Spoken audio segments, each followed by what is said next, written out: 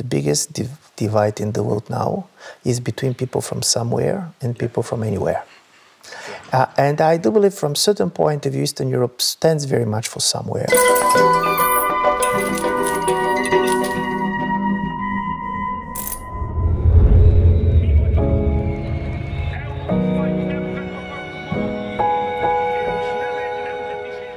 A ghost is once again roaming through Europe.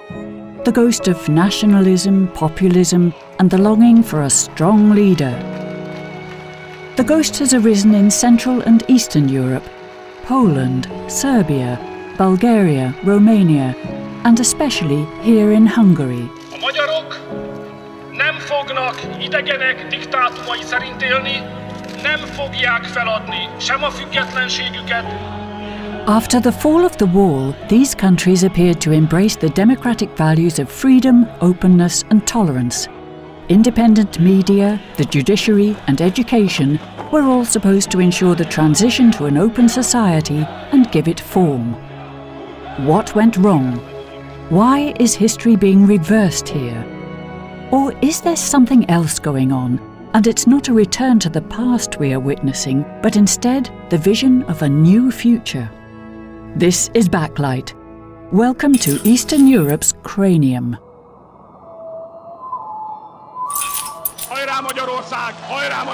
In Hungary, Prime Minister Viktor Orban is firmly seated in the saddle, his Fidesz party blessed with an absolute majority.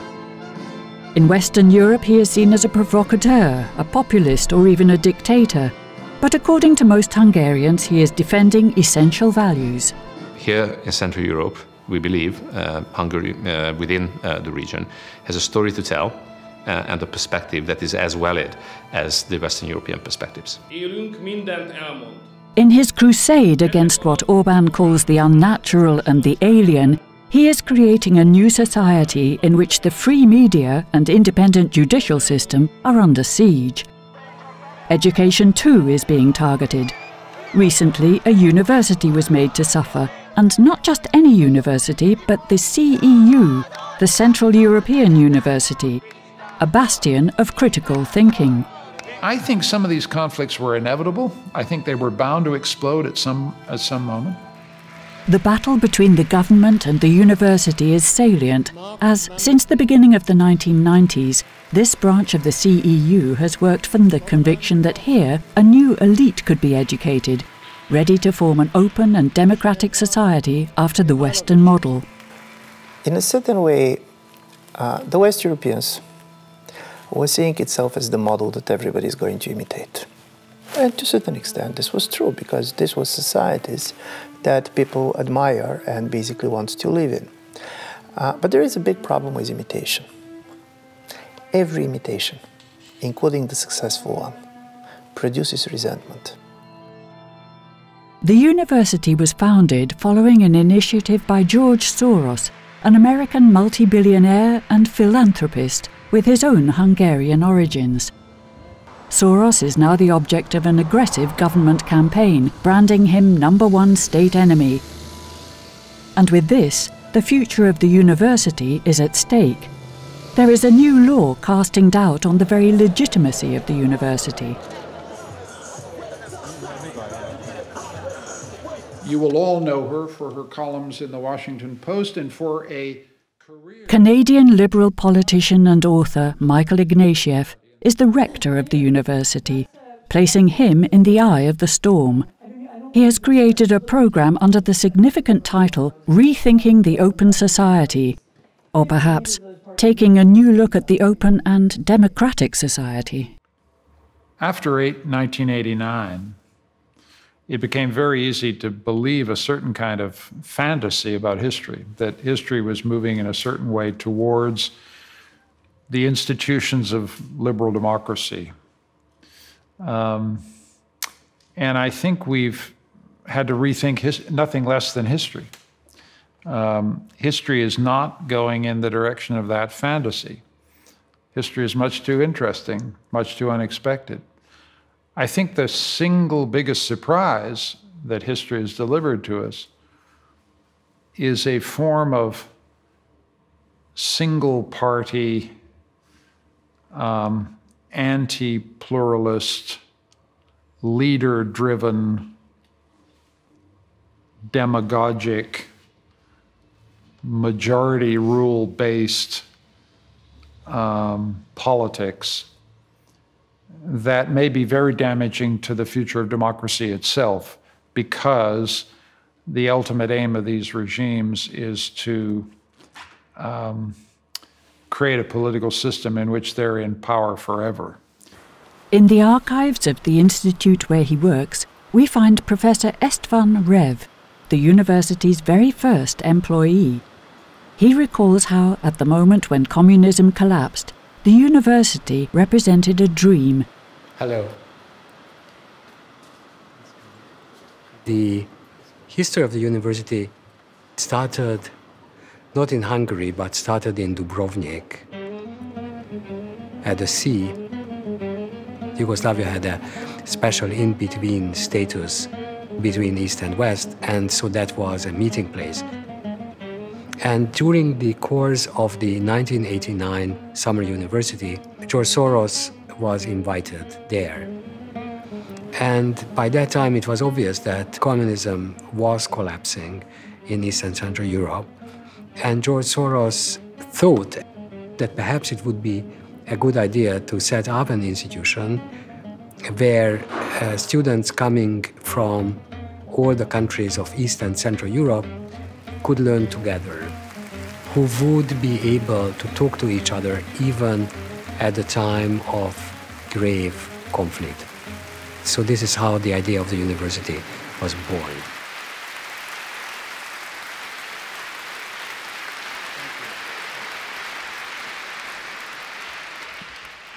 As you can well imagine, this is a day of great pride and joy for me to see so many well qualified people go out into the world.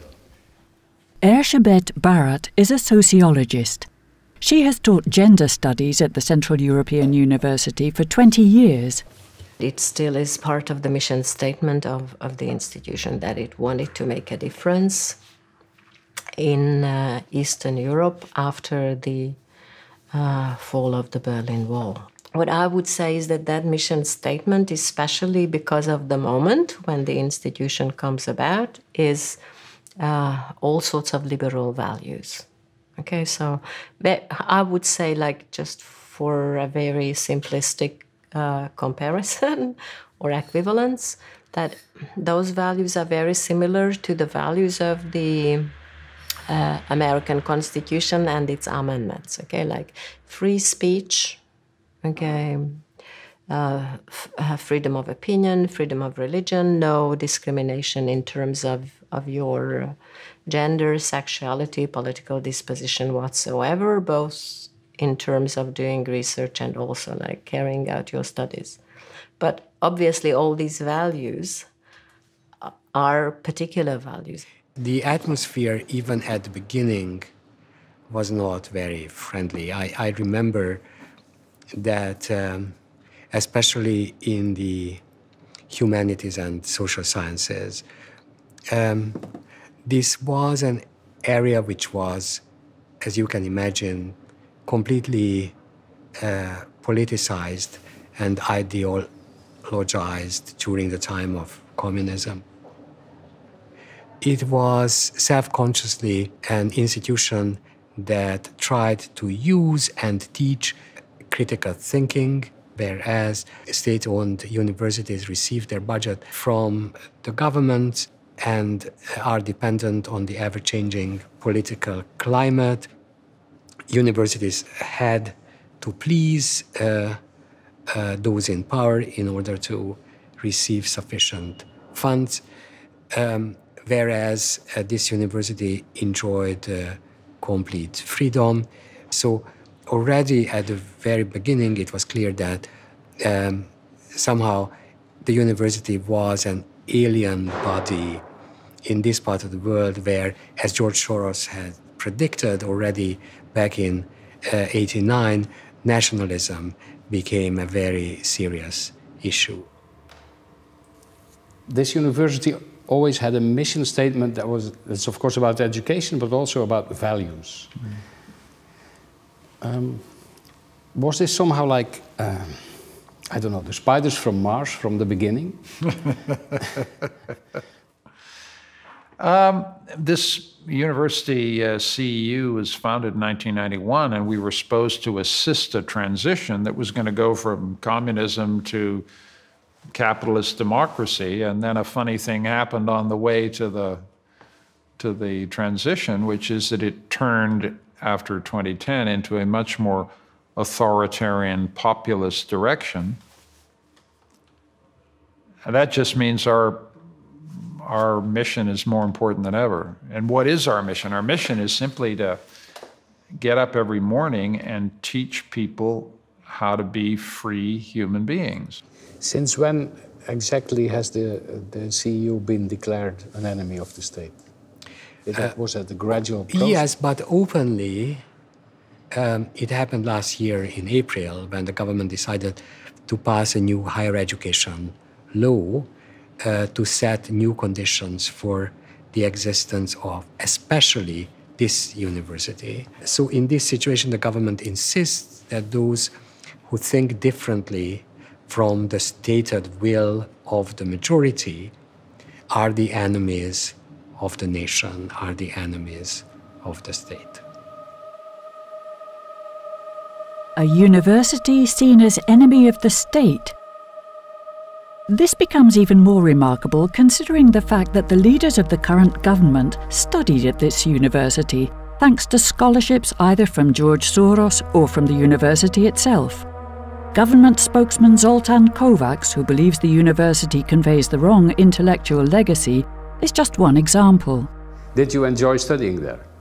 Yeah, I mean, it's, it's a high level institution. I was a historian, uh, so in a kind of a non uh, uh, political, non ideological way, I was fulfilling my, uh, my studies actually in a, in a field which was 18th century British history.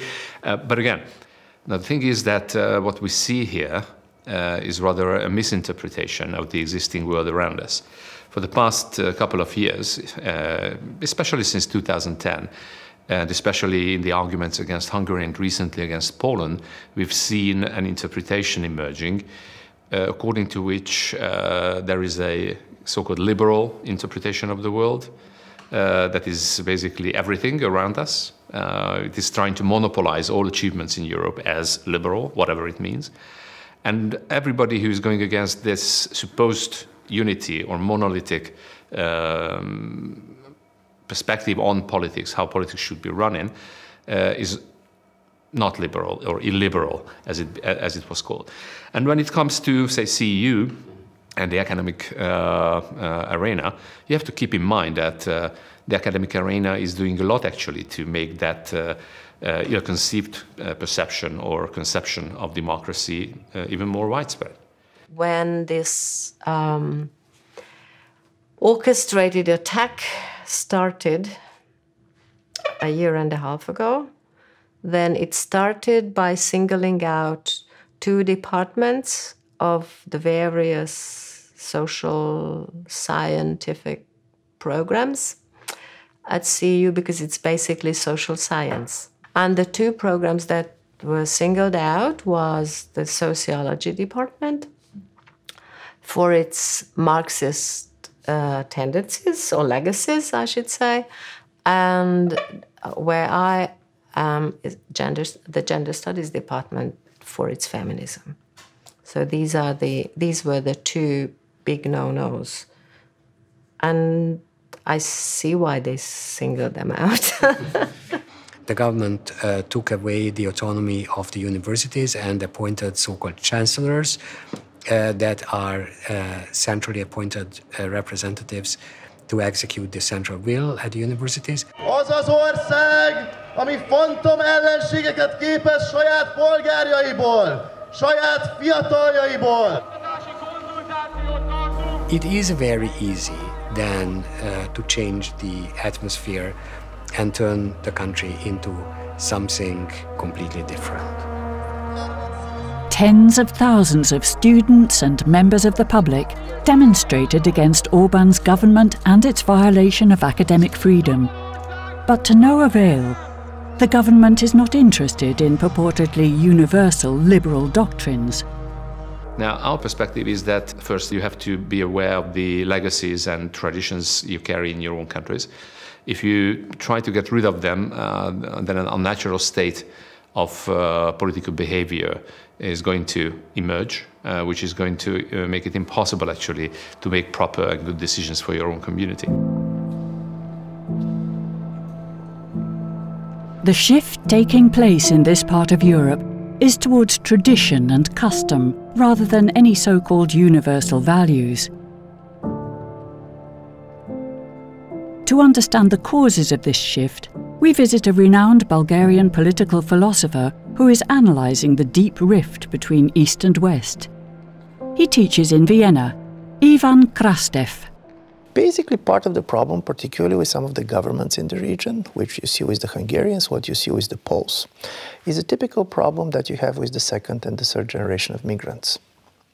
Because what happened in Eastern Europe in the last 30 years, basically, was a massive migration of the East to the West. Not only on the individual level, but with our states. We adopted Western institutions, Western norms, Western way of life. And what you know from the history of the individual migrants is the first generation basically is experiencing these changes as a success. So you have the generation of Havel, who tries to show that East Europeans are more European than Europeans.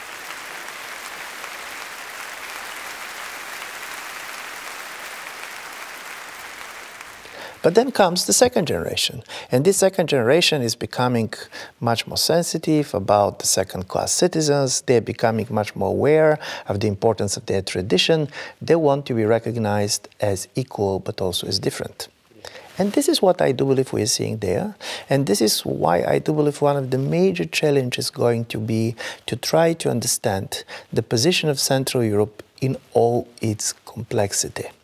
Because it's very easy to dismiss some of the concerns of the people in the regions, but you should understand that Central and Eastern Europe is going through something which I'm, social scientists call it moral panic. You have the feeling that the world as you know it does not exist anymore. You have so much vast changes that people cannot orient themselves and they're very much in a position to overreact. History is a very stubborn thing. You know, we're in Hungary here. Hungary had um, imperial rule until 1918 19, and then it had, you know, 30 years of interwar authoritarian rule, and then it had communism from 45 right through to 89. No soil in which a democratic culture could develop. And then suddenly we think, hey, presto, let's go. And it's not because, you know, Hungarians don't know what freedom is or have a taste for it or they're kind of different from Western Europeans. I hate that condescension towards Eastern Europe.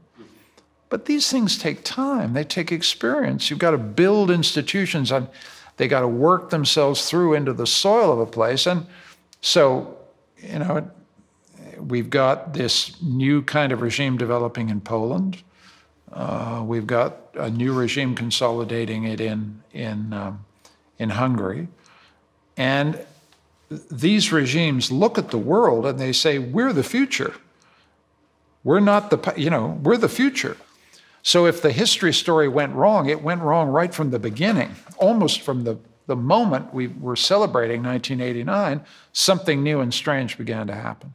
The free movement of, of the capital and the, and, and the goods, okay, for a while inevitably had to bring with it the, the free flow of ideas and people traveling but then uh, the free flow of ideas seems to stop.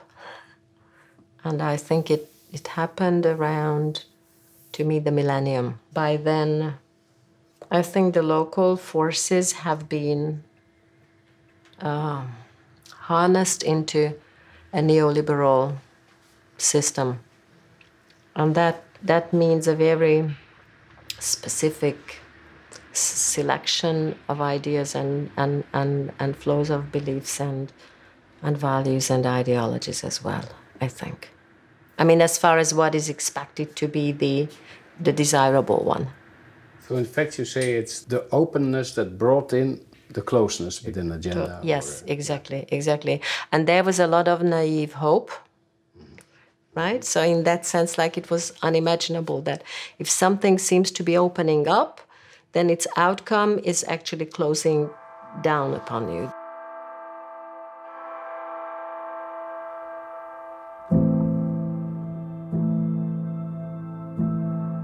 One of the major changes that we see with this nativist explosion in part of Central and Eastern Europe is that what is changing is the notion of normality. If in 1990s, normal was the West, and it was very much about political normalities. It was about democracy, it was about market economy. Now normality is much more used in a traditional cultural terms. Western Europe, in the way we know it to a certain extent today, in cultural and political terms, was very much the results of the 1968. Uh, there was a kind of a major cultural transformation that went through the West European societies. 1968 was also very important for Eastern Europe. It was the Prague Spring, it was the protest of the Polish students in March 1968. But in Western Europe, 1968 was about the rights of the individual. It was very much about the rights of minorities. In Eastern Europe, it was very much about the right of the nation. It was very much about sovereignty. It was the Czechs and the Poles trying to basically resist the Sovietization of their part of the world. I'm saying this because this is a major difference. This is a major difference in the way you understand freedom, you understand rights. Even when they have a democratic elections, they want to reduce the constitutional court, they want to eliminate free media, uh, they want to get rid of free universities. And these things are the bastions of the freedom of everybody. Um, and yet they are described by these um, uh, new um, uh, leaders. They describe these institutions like courts, like universities, like free media, as kind of elite conspiracies against you know, the majority. No, these institutions are what keep everybody free. And this is a surprise. You know, I never thought that majority rule would become uncoupled from minority rights protections regimes, constitutional rule, independent judiciary, uh, free, free uh, media, free universities. I never thought democracy would be used against these guarantees of freedom. But that's the most surprising single thing the ways in which we, the people, want to, you know, smash up the things that actually keep the people free. And this is the curve that history sent us that we never expected.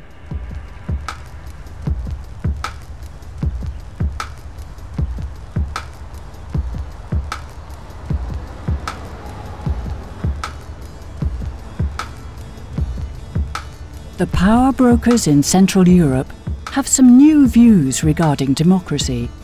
In Poland, Bulgaria, Serbia, Croatia, Romania, and Hungary, all hinges on strong leaders who want to control the media, justice, and even education. How is it then possible to conduct an effective opposition? In Hungary, the answer comes from a group of radical artists who call themselves the dog with two tails. What was the moment in time that you all decided, you know, to enter politics? No, no, it was the other way around. It was really, it really made no sense to enter into politics when we did that, and probably that's why. So that's when we started promising eternal life and free beer. Ingyen jó levegőt, a rózsadombról teljesen ingyen. Szia! Szia! Adhatok neked ajándékba ilyen rózsadomb tegnap gyűjtöttem be. Ez azt hiszem, ez, ha ja, Igen, ez a pénzfa lehellet. Could you explain what is in the in there? Yesterday I went to the it's called the Rose Hills, which is like one of the richest districts areas in Budapest and I was gathering some fresh air from there. And now this is our gift to the people here in the middle of the city who have usually very bad air and I think uh, generally, also there is a lot of bad air uh, these days here in the city and in Hungary. So I would like to give them this gift, and it's for free, which is very important because, of course, it also means to uh, gain some sympathy. so that they give me their votes.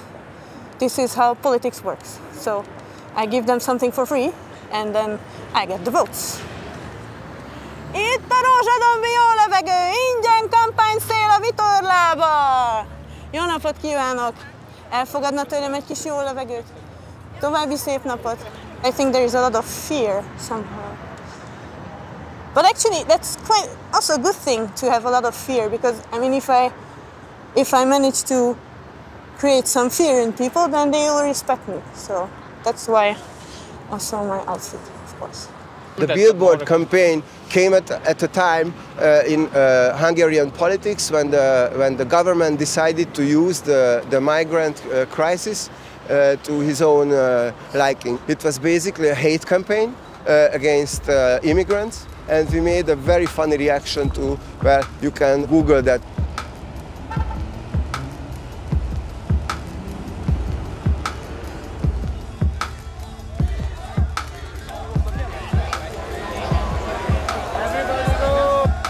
The nationalism and populism of the Orban government was fanned by the refugee crisis of 2015. Within a few weeks, Hungary had built a 500 kilometre long fence to hold back migrants and refugees, and had started a propaganda campaign fueling the fear for everything that is different. Tehát Magyarországnak egyetlen migránsra sincs szüksége. Tehát ahhoz, hogy a magyar gazdaság működjön, a magyar népesség fönnmaradjon, hogy Magyarországnak legyen jövője, ahhoz nekünk nincs szükségünk egyetlen migránsra sem.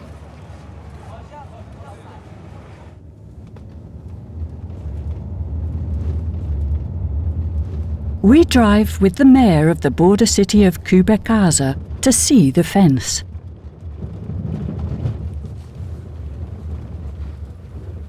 Ugye mi pontosan a hármas határ találkozási pontján vagyunk, és én emlékszem, még gyerek voltam, amikor Szerbia részéről, amikor Szerbiából a Tito rendszer idején menekültek Szerbiából át Magyarországra, utána pedig a, a, a román Ceausescu rendszerbe menekültek. Tehát a, valahogy a, a kübekházi lakóknak beleívódott az életükbe, hogy itt mindig is volt migráció. Hogy néztek ki 2015-ben azok az emberek, akik érkeztek? Ide. Hát az a helyzet, hogy mi nem nagyon részesültünk a migrációból, kiestünk abból az útvonalból, de pár, pár, pár tucatnyian átjöttek nálunk is. Én egyikbe se láttam, hogy terrorista lett volna, kisgyerekek, idősek, felnőttek, nem csak férfiak, hanem nők is, családosok is.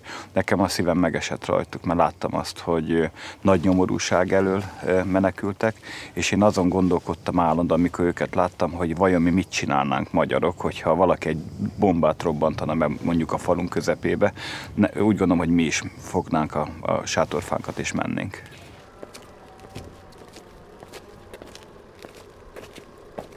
Ma Magyarország egy jövőkép nélküli, egy reménytelen, depressziós országgá vált. 30 évvel ezelőtt, 88, 89, 90 tájékán egy reményteljes jövőképet láttunk magunk előtt. Éllovasai voltak, voltunk a kelet-európai blokknak a, a fölszámolásának, és én olyan büszke voltam arra, hogy magyar vagyok. Most szégyenkezem, amikor külföldre megyek, és megtudják, hogy magyar vagyok.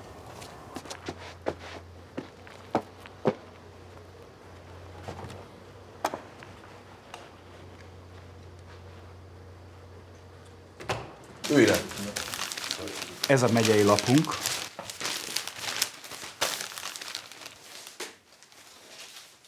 Ez a megyei lapunk. Minden nap megjelenik egy ilyen hirdetés. Ennek a hirdetésnek költsége szerintem minimum 1 millió forint per nap.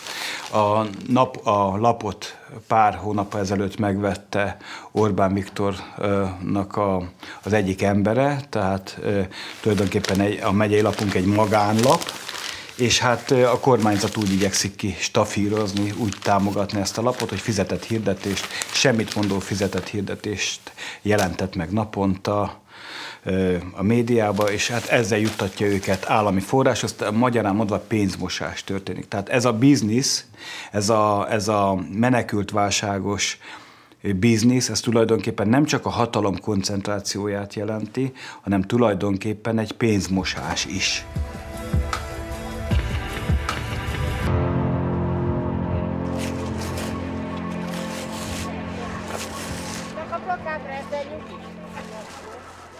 Why is Mr. Soros an enemy of the state? Well, Mr. Soros made himself a symbolic figure uh, with uh, illegal migration and migration issues. Uh, but very obviously, we know that Mr. Soros's uh, uh, actions, his activities, the framework, the network he's built for the past couple of decades goes beyond migration.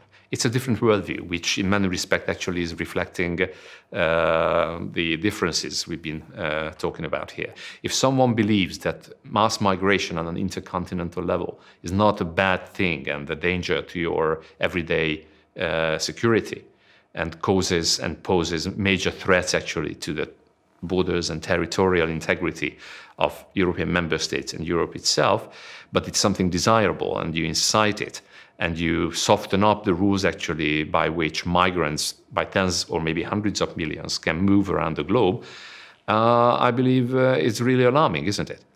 Uh, there's no such human right.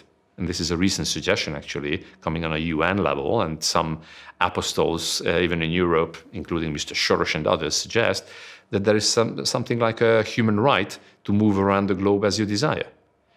It's a human right to change countries uh, because uh, not only for, say, political reasons when you are being persecuted, but also if you live in misery. Uh, but that's a misconception uh, because there are hundreds of millions of people who, at a given moment, can or should decide that they would like to live, say, in France, in Germany, or in the Netherlands, or in the United States. And it's impossible to accept that they can do that freely it's impossible. I mean, this, this, is not a world we can accept uh, is going to exist because that would take away the very essence of the existence of our communities.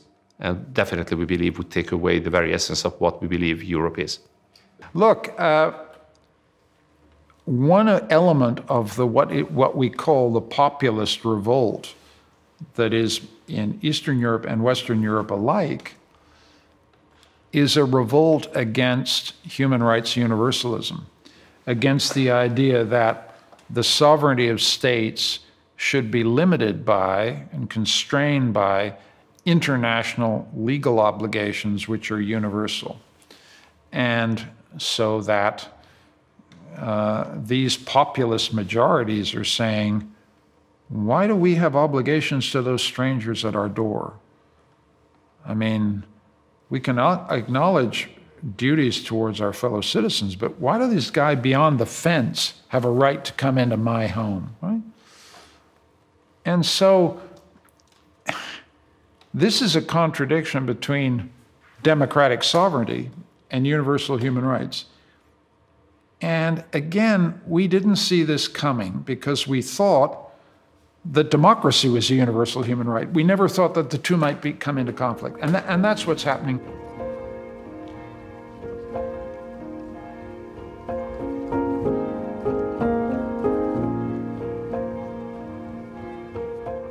When the second Orban government came into power in 2010, the emphasis shifted from our belonging to Europe, our belonging to the West, to the emphasis of our Christian roots and the fact that Hungary has always tried to defend the West from the forces coming to destroy it.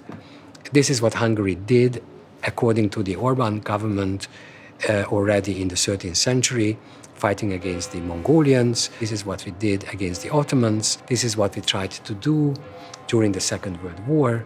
And this, according to the Prime Minister, exactly what we are doing today when we try to stop the flow of refugees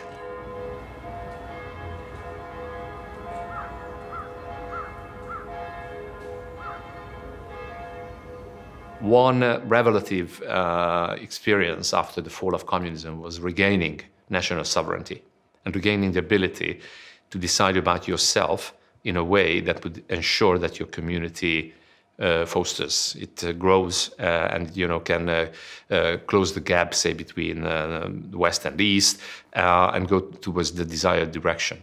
Now. Um, coming to the European Union, we obviously knew back in 2004 that we had to give up certain elements of our sovereignty.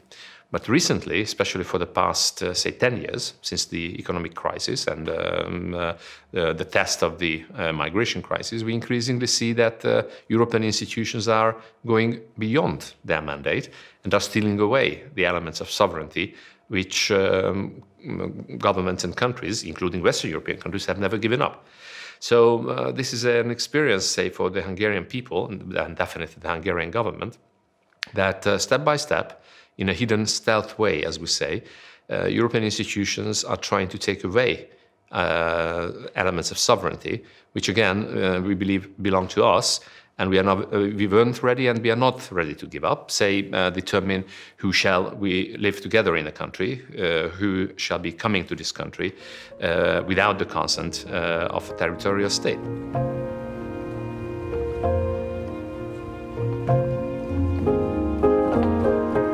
What we see in the clash between East and West of Europe that was triggered by the migration crisis cannot be reduced simply to certain policies of a German government or Hungarian government. It goes much deeper.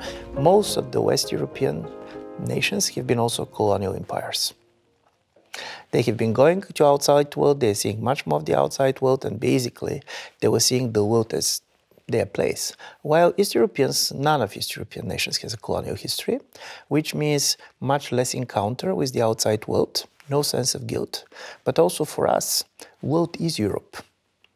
So we are much more Eurocentric, and for us, Europe is not so much an idea, but also a place, and place to be defended. So this spirit of the place, loyalty to the place, is becoming critically important. British sociologist David Goodhart said that the biggest div divide in the world now is between people from somewhere and people from anywhere.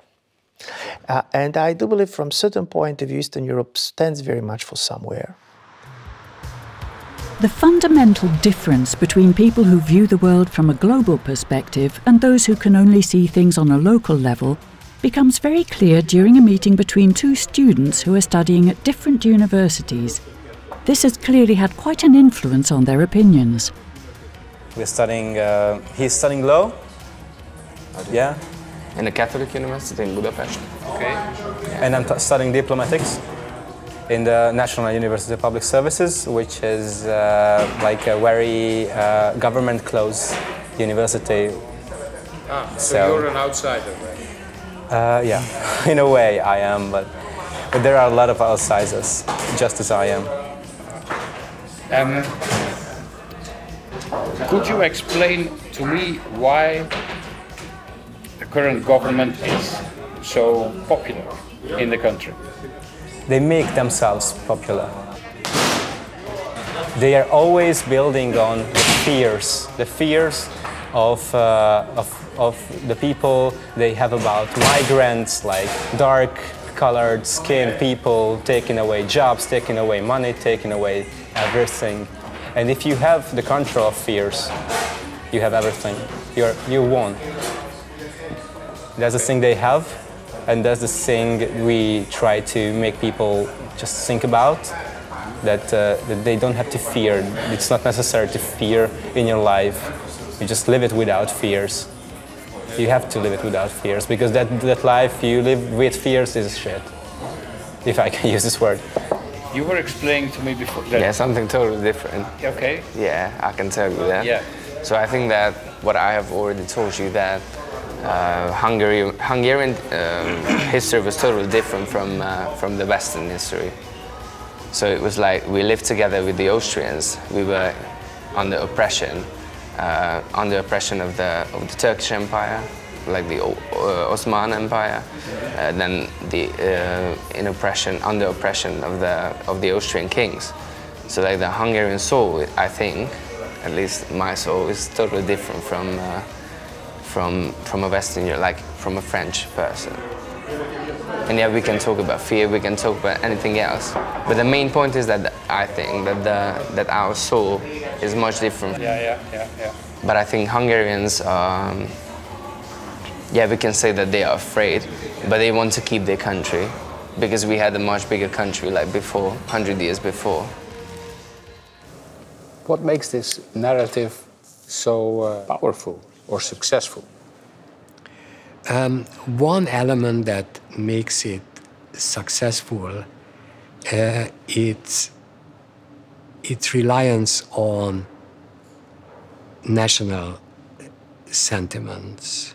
That although it seems that we Hungarians have always been victims, in fact, we have always been martyrs and heroes.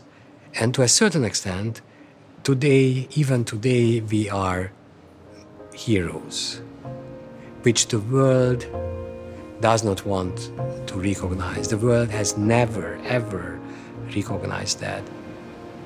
This is what makes it powerful. Listen, for East Europeans, and this is the major difference of the experience of the 20th century, you basically, Eastern Europe was experienced its 20th century as a victim. And by the way, this is why it's so difficult for us to recognize the victimhood of others. So this is a major story. And this idea that basically history is a tragic thing, that bad thing can happen, that every political project is a fragile one, and everything can go wrong. I do believe this is very much in the way Central and Eastern Europe was experiencing uh, its, uh, uh, uh, uh its identity. In the West, what has happened because of this kind of a long 70 years of success and others, the idea of this type of post-national identity and so on, uh, this is much more the idea that the world is the place to be made by us. Uh, for Central and East European, the world is much more things that happen to us than which basically we happen to others. And this is why, even when it comes to pessimism, to optimism, and so on, is very different.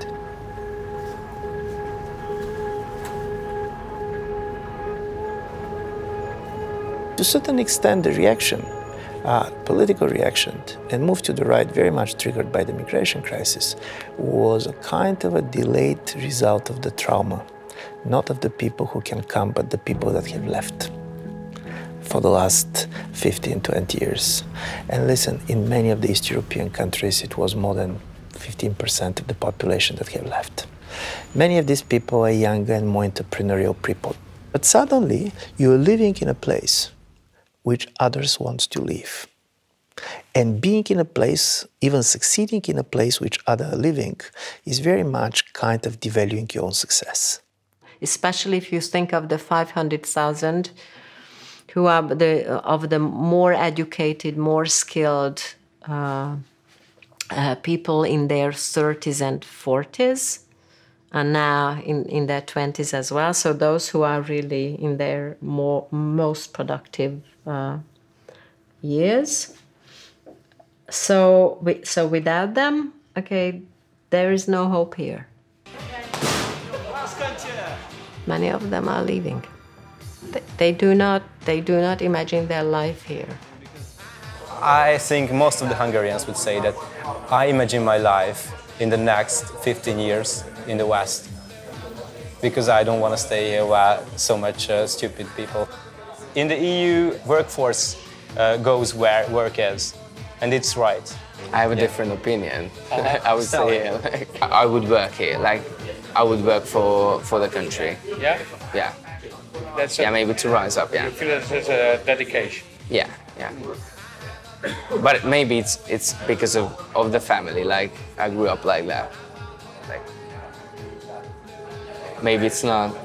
Yeah, it's a it's a not real... logical or not. Yeah.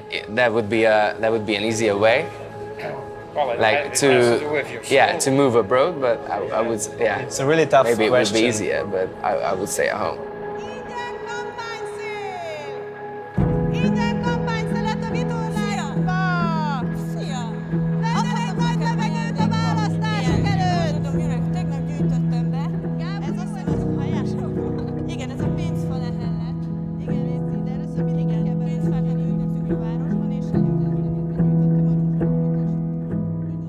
Hoffe, dass Ihnen das Video gefallen hat. Klicken Sie hier, um das empfohlene Video anzusehen. Bitte abonnieren Sie unseren Kanal, um Updates über VPRO Doc zu erhalten.